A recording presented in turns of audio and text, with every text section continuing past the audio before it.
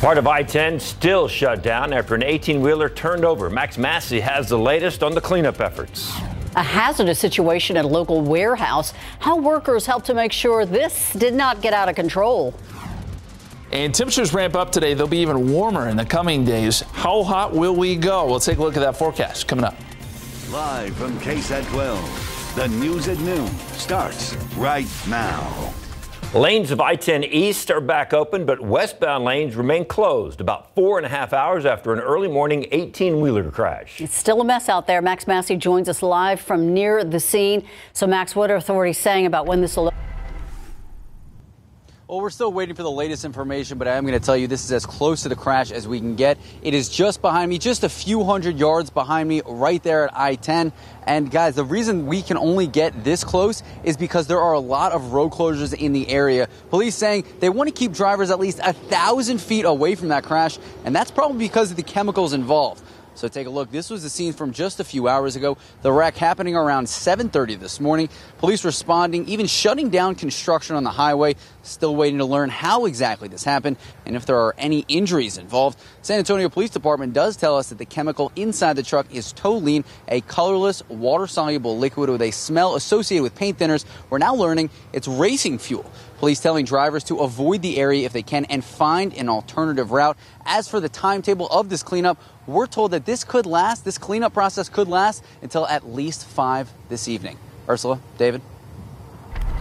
Thank you, Max. That's going to make the commute a bit interesting. Now to the latest on the coronavirus here in our community. 650 new cases of the virus were confirmed yesterday. According to the newest report from the county, one in five tests for COVID 19 in Bexar County yields a positive result. Our total number of cases now at 10,797. No new deaths were reported yesterday. That's the good news. But so far, 109 people have died locally. Right now, 881 patients are in the hospital, with 274 of them in the ICU. 154 of those patients are on ventilators. The mayor says half of those hospitalized have no underlying conditions. So far, 3,214 people have recovered.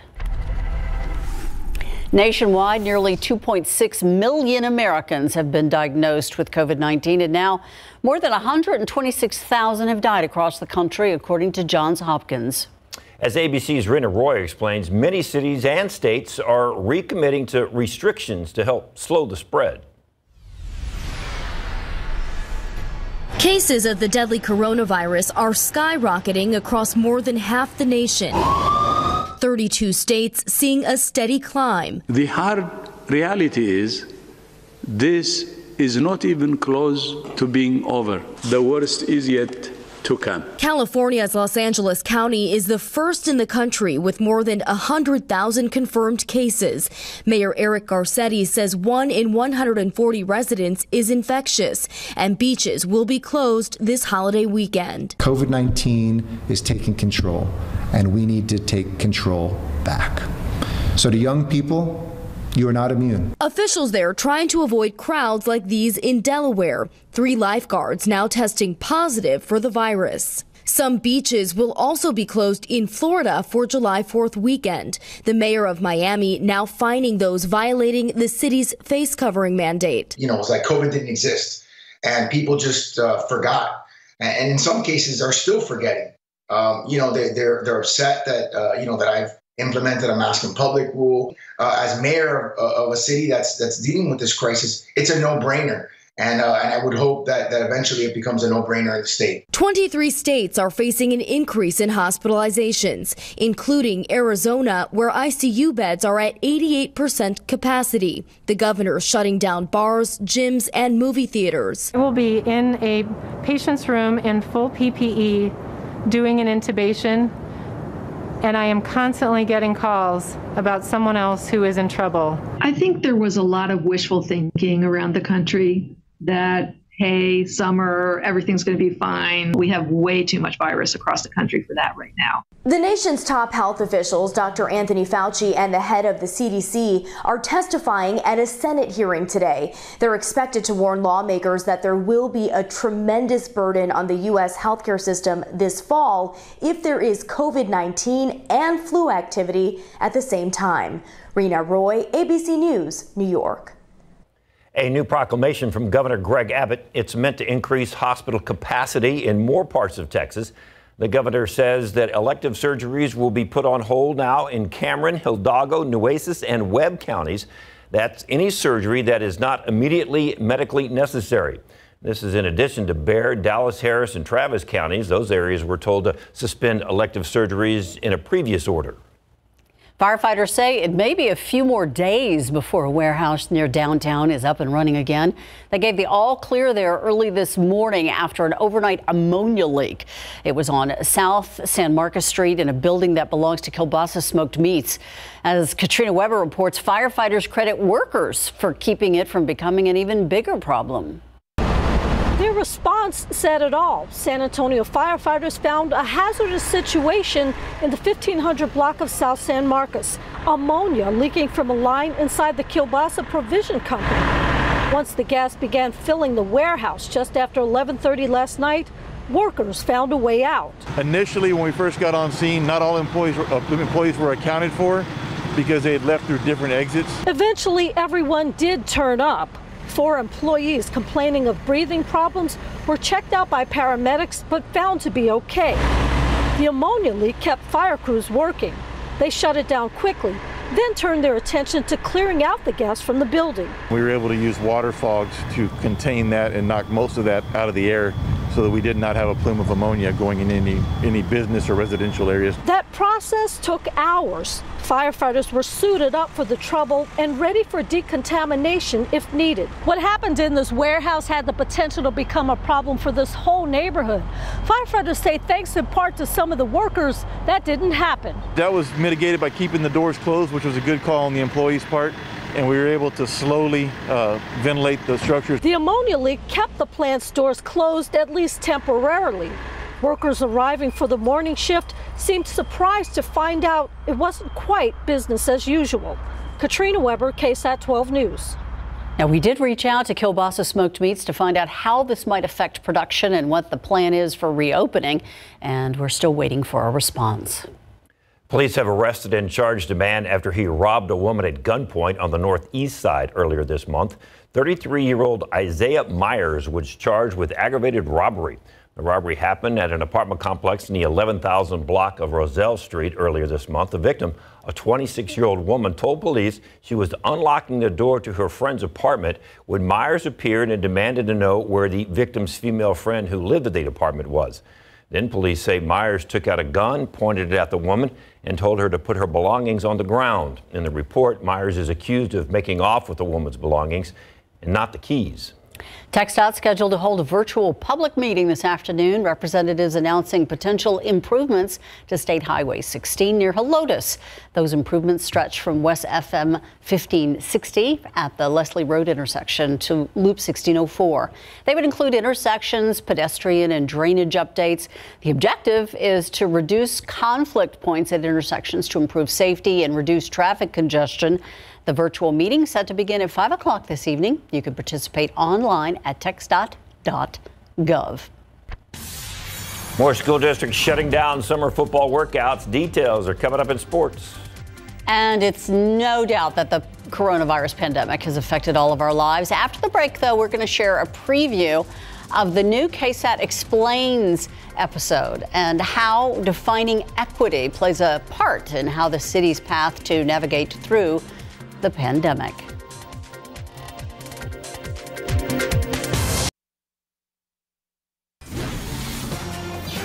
The COVID 19 pandemic has been dominating headlines since mid March when we first reported the cases in our community.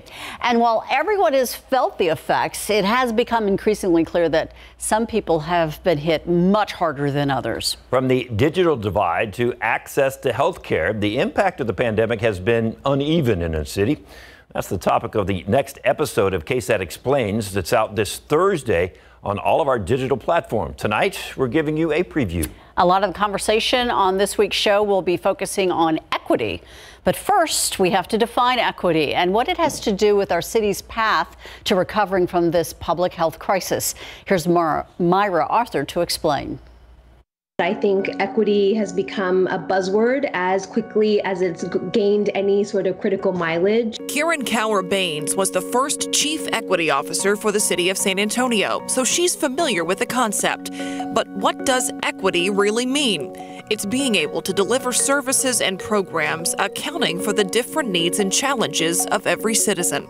In this way, equity is different from equality um, in that it doesn't mean sameness. Using what's called an equity lens, our local government would not distribute resources to each of our 10 city council districts evenly. It would actually mean we're accounting for how needs look very different across the community when it comes to specific areas um, of work, whether that's transportation or education or family well being. So, for example, if the city sets aside part of its budget for street repairs, the council districts with the most streets to repair would get the largest share of that budget.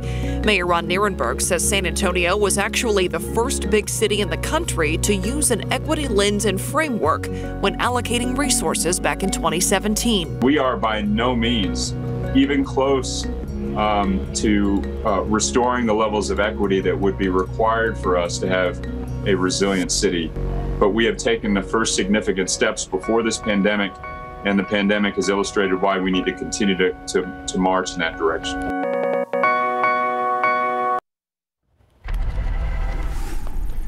Let's get outside. I guess, I don't know, can you get used to heat and humidity and dust and that sort of thing? Can you get used to all that? Yeah, You're going to have to kind of have to, unfortunately, going forward, because we're going to get both. We've got the heat and humidity today, and then the dust comes back in some form as we get in Thursday and Friday. The aquifer not doing so great, down half a foot to 661.5 today in the pollen count.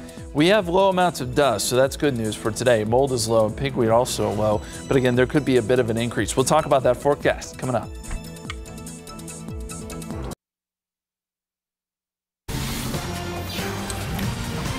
We've got a lot to watch today, tomorrow, and the next day. Um, and a lot of it you can't really see in the air, you just feel it. Yes, uh, a lot going on, and we're starting to, starting to move more into uh, a very similar like pattern, a very typical pattern here around South Texas. And one of the big questions we have is, will we hit 100 degrees coming up? It's possible. Uh, let's talk about our first 100 degree day climatology here. We, on average, hit our first 100 degree day around June 26th. So we've gotten past that. The earliest we've ever seen a 100 degree day was 1996, happened in February, February 21st. The latest ever, September 1st.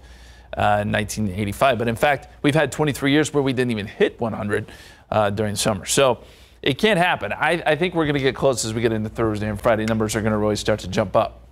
Meantime, we've got a couple showers in the radar uh, starting to show up east of Bexar County. These are really light. We've seen a couple showers here and there this morning. They're, they're not amounting to much, but uh, you could see a sprinkler or two maybe around Seguin next 30 minutes or so as this all heads off to the east and northeast. A little bigger picture here. And we've had some of the, some of those late showers work around Austin too, north of Houston.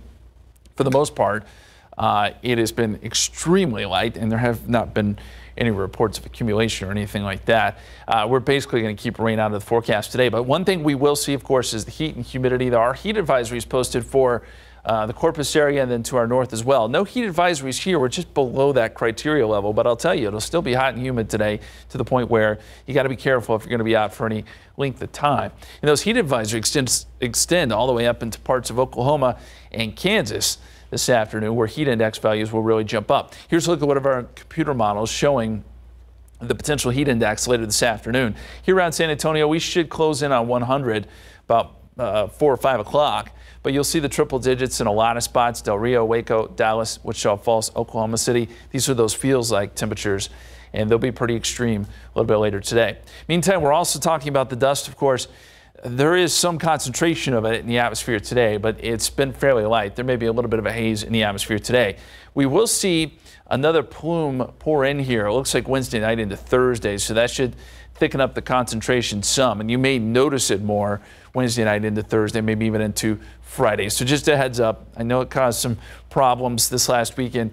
It may do so again uh, with this secondary plume. It should die down, though, by July 4th, so there's some good news there. Outside right now, we've got mostly cloudy conditions. Temperature sitting at 88 degrees. We're on our way up. Dew point is at 73. That's a miserable number with it being that high. You're going to get the heat index values already in the 90s, even at this hour. And thankfully, we do have a breeze out of the south southeast that uh, will help to keep us somewhat cool, I guess. Satellite picture shows we've got mostly cloudy skies here in uh, Bexar County. Temperatures 88 at the airport, 85 Stinson. We're up to 90 already in Castroville, 91 Carrizo Springs, a lot of sun there. 89 Gonzales, 90 in LaGrange. The dew points, as I mentioned, have been very, very high. These numbers should come down by late in the week too. So we'll see a little bit of a change here. But in the meantime, heat index a problem today. 102 is what it feels like in Gonzales. 96 the current heat index in San Antonio, and 100 the current heat index in Cotulla. Uh, Futurecast shows that uh, quiet conditions throughout the rest of the afternoon, minus a couple of those little sprinkles. And then we'll watch for the potential for a couple of thunderstorms, just like yesterday out west. Places like Val Verde County could see some of these storms hold together as they come in from West Texas, but they'll fall apart quickly, and we are not expecting rain here in San Antonio. Forecast for a high today, 94. Heat index will feel like 97 to 100 already does. Southerly winds 10 to 20 miles per hour. And then 96 tomorrow, 98 Thursday, 99 Friday. That's when we could see some of that haze in the atmosphere. And right now, we're still looking at 99 there on July 4th. I'm not going to put that triple digit just yet. Uh, we're going to try to see if we can stay just below that threshold. Staying optimistic. Indeed. Thank you. Hey, we'll let you know how the soccer season for San Antonio is starting to unfold. Coming up next in sports.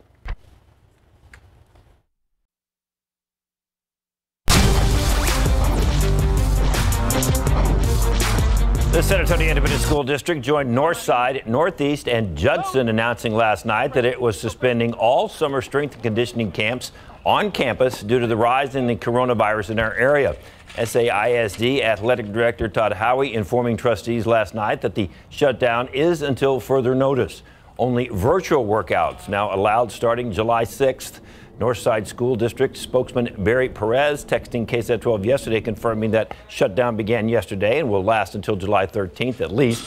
That's after both Judson and Northeast confirmed pulled the plug Sunday night, suspending all summer camps. Like Northside, it will be at least until July 13th while they monitor the situation, and for Northeast, at least through this week. The decision affects as many as 29 schools in the San Antonio area. For Northside, 10 schools Brandeis, Brennan, Clark, O'Connor, J. Holmes, Marshall, Stevens, Warren, and Taft. For Northeast, seven schools, including Reagan, Johnson, Churchill, Roosevelt, MacArthur, Madison, and Lee. And for Judson, besides the Rockets, it also includes Wagner and Veterans Memorial, and now SAISD that includes Burbank, Breckenridge, Lanier, Jefferson, Sam Houston, Edison, Highlands, Fox Tech, and Young Men's Leadership Academy. You feel sorry for the kids from a coaching standpoint because um, you know getting to see them up there, seeing the smile, smiles on their faces, just shows that they missed what everything was going on. And um, you know, and as coaches, we did too. It gave us all a little bit of extra I guess, uh, inspiration to see the future and hoping that things get off get off uh, where we are right now. Just a little vacation for July 4th is kind of how I'm, I'm looking at it, and, and you know we'll move forward. You know sometimes you got to adjust, you know, and, and, roll with things, and obviously this is a, continues to be a fluid situation. But but again, at the end of the day, I think uh, hopefully everything will turn back and uh, get rolling on the 13th, and, and we just cruise on in and get ready for the football season. The University Interscholastic League reopened campuses back on June 8th amid strict guidelines that all schools were instructed to follow. And coaches want you to know that the shutdown is out of an abundance of caution with the COVID 19 pandemic on the rise in our area, not because the protocols were not followed all the protocols that we had in place worked perfectly. Uh, you know, we had two cases here and uh, removed those two uh, position groups, and, and it kind of worked out just fine where no one, no one, else, no one else got ill. So uh, that was important for us to understand that the protocols did work uh, the best that they, the best way they could, and uh, you know, our kids felt safe. They were they, they, they, felt like they could come here and be safe and, and, and continue to learn and have fun and, and, and get better and get ready for a season. Both Southwest and Medina Valley ISDs have also announced on their Twitter accounts that they too are suspending their strength and conditioning summer camps. For Southwest and Southwest Legacy, that'll be for the rest of the week, and for the Panthers in Castroville until July 13th. San Antonio FC back on the practice field preparing for the USL Championship season to restart a little over two weeks from now. The USL has shortened this year's season to a total of 16 games, which means SAFC has 15 left on the schedule after their season opening victory over Real Monarchs back in March. They will play in the World Cup style formats, pitting San Antonio against geographic rivals Austin, Rio Grande Valley, Oklahoma City, and Tulsa. The short turnaround will be tough, but the team is just thrilled to have another chance to play this year.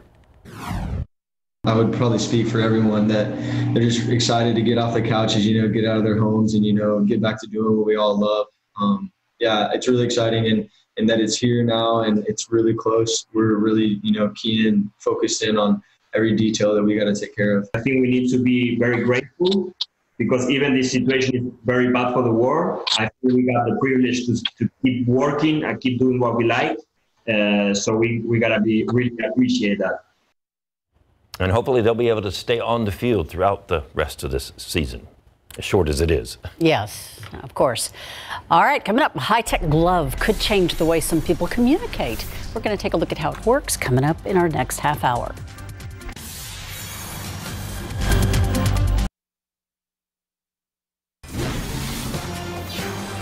If you drive I 10 past 1604, we've got some important information you need to know about right now. An early morning 18 wheeler crash still has the westbound lanes closed down, and police say it could be hours before it's clear. Max Massey has been there. He joins us now live near the scene at I 10, just east of 1604. So, Max, how does it look out there now? Well, even five hours after that crash from this morning, that 18 wheeler still spread across lanes of the highway and the frontage road. I'm going to step out of the way, show you what we're looking at. This is as close to the accident scene as we can get, just a few hundred yards away. And as we can see, fire trucks, police, and hazmat still on the scene. Uh, take a look. This all happened around 7:30 this morning. This was the situation we first got here. Honestly, even trying to get to the location where we are right now is a struggle, driving and traffic-wise. That's because police have shut off a good amount of roads in the area. Police telling us they want travelers to stay at least a thousand feet away from any part of this crash. That's because of the chemical that was in the 18 wheeler. We're told that it was actually hauling racing fuel. As for when the cleanup is expected to be complete, that could still be here by 5 this evening. And we are still waiting for the latest information, still trying to figure out how exactly this happened and if there's any injuries. Ursula, David? Thank you, Max. The Louisville Metro Council plans to launch an investigation into the mayor's handling of the murder case of Breonna Taylor. In March, police shot and killed Taylor after they broke down her door while on a search warrant. The committee will also investigate the events surrounding the death of local business owner David McAtee. He was shot as Louisville police and the National Guard dispersed demonstrators during a protest over George Floyd's death. The investigation resolution will be officially read at July 23rd's meeting during that during the council meeting. President Trump under fire over reports that the intelligence community has shared information with the administration indicating that the Russian military offered bounties to Taliban fighters to kill coalition troops, including Americans, in Afghanistan. The White House denies that the president was ever briefed on this matter. ABC's Andrew Dymburt has more. There are new questions about who knew what and when after bombshell news reports alleging the Russian military has been offering the Taliban bounties to kill U.S. and coalition troops in Afghanistan. Overnight, the Associated Press reporting the White House was aware of the intelligence back in March of 2019, and the New York Times saying that in February of 2020, the Russian bounty information was included in the president's daily brief, a book of important intelligence details. House Democrats demand demanding a response. Nothing in the briefing that we have just received led me to believe it is a hoax. The White House continues to maintain the president was not informed of the intelligence and that he still has not been briefed, even as the story has come to light. He was not personally briefed on the matter. Last year, 23 U.S. service members were killed in Afghanistan. Whether any were at the hands of Taliban fighters paid by Russian operatives is not known. The Trump administration, meanwhile, calling into question the credibility of the claims. There was not a consensus among the intelligence community, and in fact, there were dissenting opinions within the intelligence community, and it would not be elevated uh, to the president until it was verified. An unverified intelligence gets put in front of presidents all the time. It's the nature of intelligence. Families want answers. The AP reports that officials are focused on an April 2019 attack on an American convoy where three U.S. Marines were killed. The father of one of them says even a rumor of Russian bounties should have been immediately addressed. If this was swept under the carpet as to not make it a bigger issue with Russia, I lost all respect for this administration. In an unusual move, the administration only chose to brief a handful of Republicans yesterday, and it's unclear why the administration chose to conduct partisan briefings. Russia, meanwhile, denies all allegations. Andrew Dymburt, ABC News, Washington. China has approved a national security law that will allow authorities to crack down on subversive activity in Hong Kong. That law sparked fears that it'll be used to curb opposition voices. Hong Kong's leader says it will only target a small minority of lawbreakers. Passage of the law is seen by many as the boldest move yet to get rid of the legal firewall between Hong Kong and mainland China. The European Union voted today to ban all American travelers to the continent over what Europeans see as a failure to make serious inroads in combating the coronavirus pandemic in the U.S. As ABC's Julia McFarlane reports, the EU's list of areas whose citizens can visit includes 14 countries. The list of safe countries that will be allowed entry into the EU has been drawn up by the European Council, made up of all the heads of the government for the 27 member states. After several delays, the group finally adopted this advisory list of who may enter Europe when it lifts its lockdown tomorrow on July 1st. The countries who may visit include Australia, Canada, Japan, South Korea, and a handful of small countries such as Montenegro, Serbia, and Rwanda. Perhaps surprisingly, the list tentatively includes China, despite the communist nation being the global epicenter of the COVID 19 pandemic and being criticized for not sharing news of their outbreak more quickly and widely. But China's admittance depends on mutual reciprocity, and the Chinese haven't yet said if they will allow Europeans to travel there. One nation not on the list, the US, which is seeing a record breaking resurgence of infections, and where President Trump has encouraged large gatherings and has ridiculed those who wear masks or facial coverings. Also out in the cold, Russia and Brazil. Earlier this week, week, the World Health Organization announced the global number of cases had reached 10 million, with those three countries making up the majority of infections. And as for Americans hoping to take that long awaited holiday in Europe, the list of countries is to be reviewed every two weeks. And if the US meets the EU's criteria, namely matching the EU average for new cases and acceptable domestic containment measures, the ban may be lifted in the near future. Julia McFarlane, ABC News, London. Outside with live cam, I snuck a peek over at his little radar. There's like a little bitty blip of something out there. It's green. It looks like there's a cloud on the ground. Is that what that is? no. There is a little bit of haze out there. There is a little bit of, of a blip on the radar. We're going to try to make all of this good news because there has been not so great news in the forecast when we're talking about dust and heat. But here you go. Radar does show a couple showers out there. And when I say showers, it's really not much more than a couple sprinkles, but they are there. And they are moving out to the east and uh, northeast this afternoon. You see some of those showers just south of Seguin there. Very light stuff. Uh, not really affecting San Antonio. We are not looking for rain today. We do see a little bit of cloud cover though, and just uh, some partly cloudy skies here around uh, San Antonio right now. 88 degrees at the airport, 91 in Castroville, 82 Boerne Stage, 87 in Tarpley. It's awful humid too. So there is a heat index. This is what it feels like out there. 96 here in San Antonio, 96 at Port SA. And I do think that heat index could get up to 100 today. So it's going to be pretty unbearable this afternoon. Temperatures, uh, air temperatures at least, make it up to 94. Partly cloudy, and then look for partly cloudy conditions going into this evening. There is a little bit of haze out there. We're starting to see some dust trying to work back in here. I think the thicker dust probably uh, arrives later this week. And the good news is it will not be as thick as that last round. But we're going to talk more about that coming up here in just a few minutes. Ursula? Thank you, Justin. NASA trying to help stop the spread of COVID 19. Still ahead, a new product it shared that helps you to stop touching your face. And a Grammy Award winning singer has just what you need if you're searching for some real wine. Details in the spotlight. You already know one of the ways to help prevent getting COVID 19 don't touch your face. You probably realize just how often you do it. So, how do you stop? Well, a 15 year old in the United Kingdom thinks he has an answer. Details on that after the break.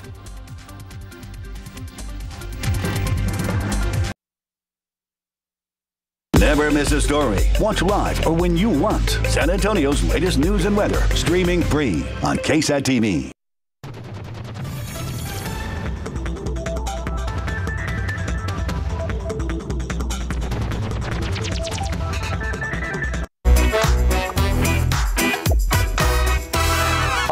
Everyone. This is your daily tech and business briefing from Cheddar.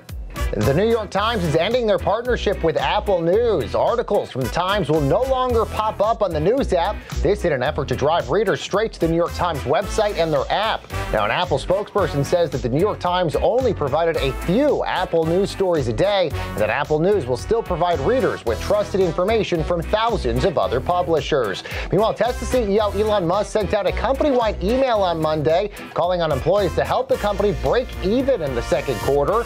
Now, Musk urged workers to go all out with vehicle production and deliveries, adding that breaking even is looking super tight right now. According to Refinitiv data, the company is expected to deliver roughly 74,000 vehicles in the months from April to June. Tesla is set to report second quarter vehicle production and delivery numbers uh, sometime before the weekend.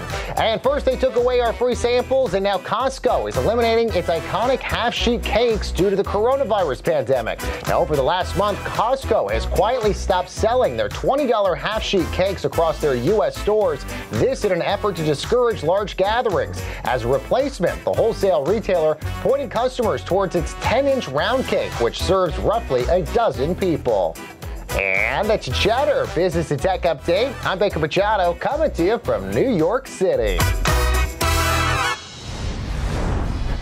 In more consumer news, the international, rather the Internal Revenue Service is not extending the tax deadline. The 2019 tax filing and payment deadline coming up on July 15th.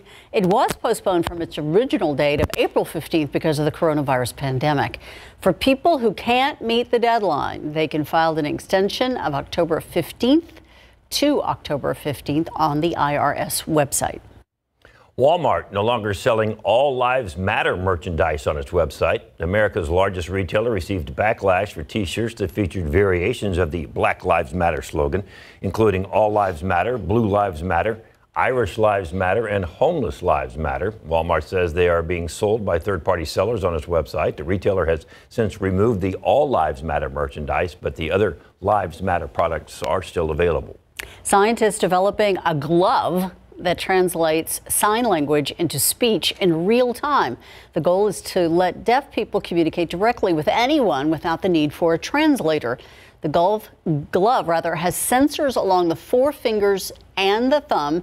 They identify words, phrases, or letters in American Sign Language. The signals are then sent to a smartphone app, and then it translates all that into spoken words quickly, about one word per second. The UCLA research was published in the journal Nature Electronics. And a teen in the UK has come up with an invention that could keep folks healthier. It's a watch that helps you stop touching your face. Right now, he's raising money for his creation. It's called VibPro. The watch uses special algorithms to predict when it thinks you're raising your hand toward your face and then vibrates to warn you. The teen says he came up with the idea with his mom in 2018 during the regular cold and flu season, but coronavirus kicked it into high gear. If he raises enough money, the watch could be available by September. He thinks it'll retail for about $110. This guy is probably going to head to NASA. Think so? Because NASA is trying to do the same thing. If you don't want to wait for that watch to be released, NASA is already coming up with another option, the space agency creating a wearable item. It's called the Pulse. When a person's hands comes close to their face, the pulse vibrates. It's meant to help the wearer remember to avoid contact. The CDC not only recommends people to wear masks, but to also avoid touching your face to prevent getting infected. But NASA isn't selling pulses. People who are interested in creating one will have to have a 3D printer, wire, and other materials. More information can be found on NASA's website. I think the young man with the watch is going to end up on Shark Tank one day. That's what I think. That's a pretty cool idea that he had. Um, if he could come up with a device that would get the African or Saharan dust out of the air and wash the humidity out and lower the Wow. temperature about 10 degrees, we'd be cool with that. That's a big task. That that He's that a is smart big task. kid. That's a big watch. What Thing- that be? You know, things you never thought you, you would need. You know, five years ago, we never thought we would need something like that, but there you go. Uh, at temperatures today up to 88 degrees, low this morning 79. That is probably a record low minimum temperature for the day, unless we go below that uh, later tonight before midnight. Uh, 94 and 74, the averages 105 and 60, the records set back in 1907 and 1985. There is a little bit of rain in the seven day forecast. We'll talk about it when we come back.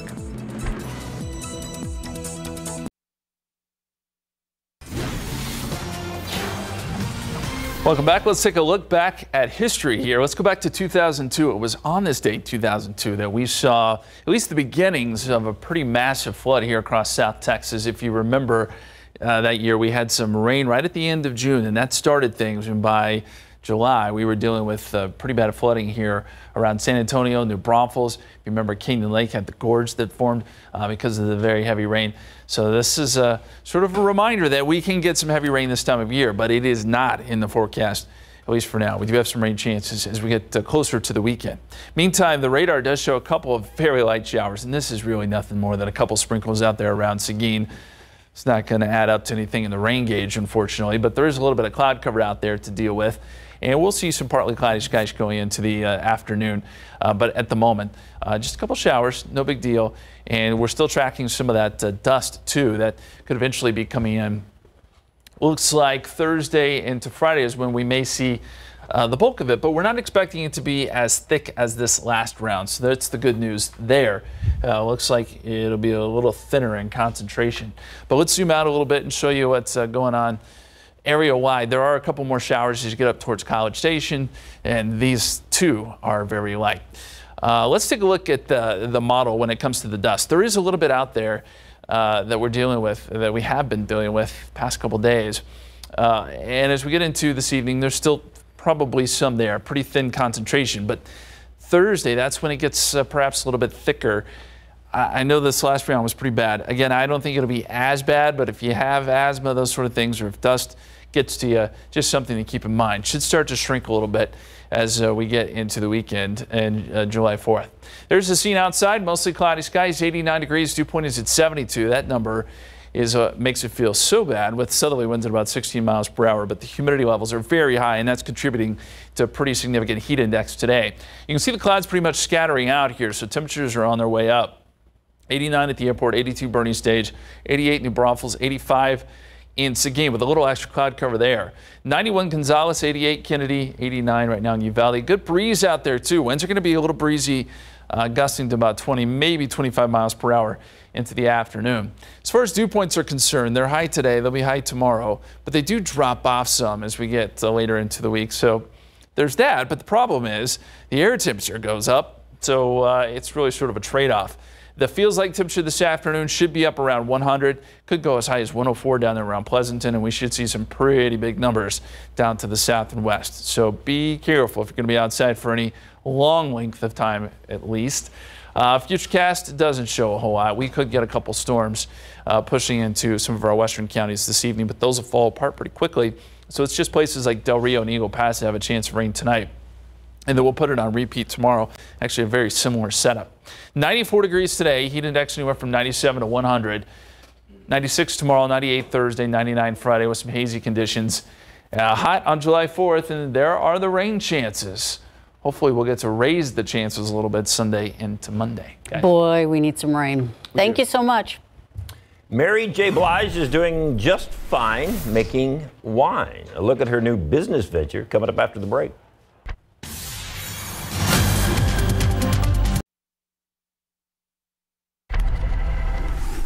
Carl Reiner, a television pioneer, has passed away. According to his assistant, he died last night of natural causes. He got his first start on Sid Caesar's Your Show of Shows. He also made some big screen appearances and had success as a director. Reiner had three children. His son Rob followed in his entertainment footsteps. Later on in life, he returned to acting, appearing as an elderly thief in the Oceans movies. And in 1995, he actually won an Emmy for his performance on Mad About You. Reiner had impeccable comic timing that reflected his philosophy about writing for comedy. He said, if you imagine yourself as somebody really normal and it makes you laugh, it's going to make everybody laugh. He was 98 years old. And in the spotlight this noon, singer Mary J. Blige has just launched a wine collection called Sun Goddess. It is a limited edition collection in collaboration with a winery from Italy. The singer says Sun Goddess, Sun Goddess was actually a nickname her sister gave her because she loves being outdoors and soaking up the sun. So far, the brand includes two wines, a rosé and Sauvignon Blanc. They cost about 20 bucks each. They'll be sold across the country in August. And the 4th of July is almost here, and SA Live has some fun things planned. Today, they're going to show you some family fun crafts for the holiday and share a list of some great ice cream shops around town. Mike? Remember, ice cream? We all scream for ice cream. Oh, yes. And if you're screaming for ice cream, we have put together a list of ice cream shops that, oh, you won't want to miss. Plus, we head, oh, doesn't that look good? Yep, we head to the final frontier, space the final frontier. These are the boys, sorry. Uh, we revisit a trip I took to the Scobee Education Center and check out the stars. And it's time. Oh, we all need this in the mornings to get your caffeine kick. Circle K is pouring us some iced coffee. And they've got some really, really yummy flavors. And we are getting very crafty for the 4th of July and some things that you can make at home with the kids, your own little straw rockets. Ready? It worked. And Thank you very much. An applause from the peanut gallery over there. And we want to know what your favorite, speaking of ice cream, ice cream flavor is chocolate or vanilla? What do you think over there? Lemon. Wow, that's those are the only two. Chocolate or vanilla, Ursula. Wow. and we are going to have a poll and see which comes out ahead. And don't forget to stream us at ksat.com. That's all coming up in just a couple of minutes on SA Live, so stick around.